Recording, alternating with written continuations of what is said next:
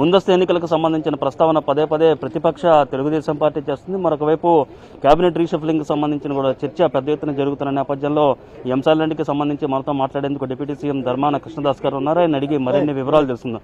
Sir చెప్పండి. ముందస్తు ఎన్నికలు సిద్ధంగా ఉన్నాము. నూట అరవై ఒక్క నూట అరవై సీట్లు వస్తాయని చెప్పిన తెలుగుదేశం పార్టీ చెప్తోంది. అచ్చెన్నాయుడు గారు ప్రధానంగా పదే పదే నొక్కి చెప్తున్న పరిస్థితి.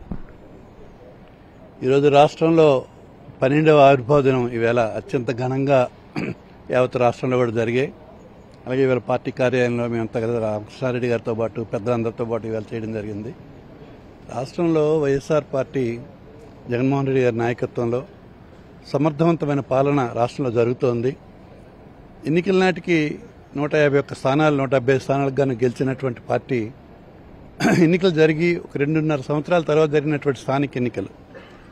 ఈ మధ్య మొన్న జరిగినటువంటి బద్వేలు ఉప ఎన్నిక అలాగే తిరుపతి పార్లమెంట్ ఎన్నిక వరకు అనేక ఎన్నికలు జరిగాయి. కార్పొరేషన్ ఎన్నికలు కానీ మున్సిపాలిటీలు కానీ జడ్పీటీసీ ఎన్నికలు కానీ గ్రామ పంచాయతీ ఎన్నికలు కానీ ఏ ఎన్నికల్లో కూడా అఖండమైనటువంటి మెజారిటీ మళ్ళీ ప్రజల జగన్మోహన్ రెడ్డి పార్టీకి వైఎస్ఆర్ నాయకత్వంలో మరి జగన్మోహన్ రెడ్డి నాయకత్వంలో ఇవాళ వైఎస్ఆర్ పార్టీకి ఇవ్వడం జరిగింది.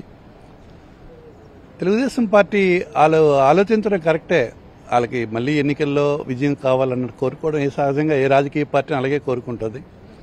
అయితే అటువంటి పరిస్థితి ఈవేళ రాష్ట్రంలో ఎక్కడ కనిపించట్లేదు. ప్రజలందరూ జగన్మోహన్ రెడ్డి గారు ప్రజలకి చేరువుగా చేసే పాలన చూస్తున్నారు. ఆయన తరకు ఆలోచన విధానం ప్రతి ఒక్కరు గమనిస్తున్నారు.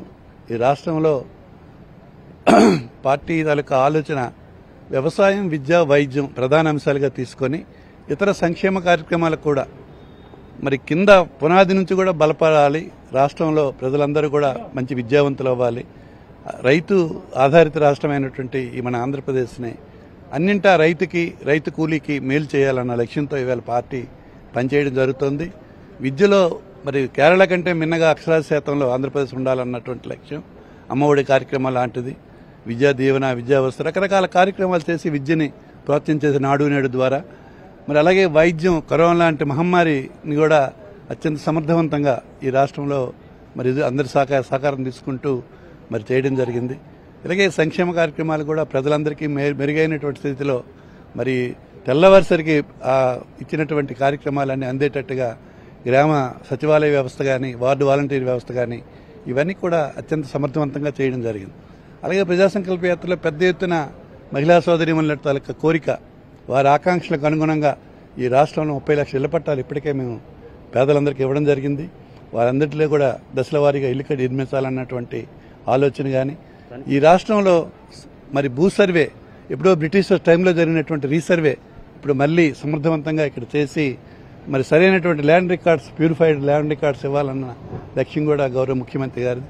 ఇలాగ అన్నింటి కూడా ప్రక్షాళన చేసి ఒక ట్రాన్స్పరెంట్ గవర్నమెంట్ ఈ రాష్ట్రంలో ప్రజలకు ఇవ్వాలన్న లక్ష్యంతో ప్రభుత్వం పనిచేస్తుంది. భవిష్యత్తులో ఎప్పుడు అచ్చెన్నాయుడు గారి ఇష్టమే చంద్రబాబు నాయుడు గారి ఇష్టమే. ఎన్నికల కమిషన్ ఎప్పుడు ఆదేశించిన ఎన్నికలకు మేము రెడీగా ఉన్నాం. అయితే మాకు ఐదు సంవత్సరాలు పాలించాలి అంటే అంటే పెద్ద ఎత్తున వ్యతిరేకత అనేది చాలా పెరిగిపోయింది ప్రజల్లో. ఇంకా లేట్ అయిన కొద్దీ ఇంకా ఎక్కువైపోతుంది కాబట్టి ఏ క్షణమైనా సరే ముందస్తు ఎన్నికలు పెట్టేయచ్చు ముందస్తు ఎన్నికలకు ప్రభుత్వం వెళ్ళిపోవచ్చు. జగన్మోహన్ రెడ్డి గారు ప్రభుత్వాన్ని రద్దు చేయొచ్చు అనే దిశగా చంద్రబాబు నాయుడు గారు కామెంట్లు చేస్తున్నారు. మాకు అవసరం లేదు. ఎన్నిక జరిగినప్పుడు అలాగే మాట్లాడారు వాళ్ళు. మళ్ళీ మూడు సంవత్సరాలతో ఇదే- ఇదే మాటలు మాట్లాడుతున్నారు. ఎప్పుడు ఎన్నిక జరిగినా ఏకపక్షంగా తీర్పు ప్రజలందరూ ఆ పార్టీని ఓడించడం జరిగింది.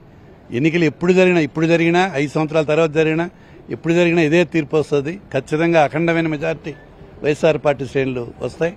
జగన్మోహన్ రెడ్డి నాయకత్వాన్ని యావత్ రాష్ట్ర ప్రజలు కోరుకుంటున్నారు.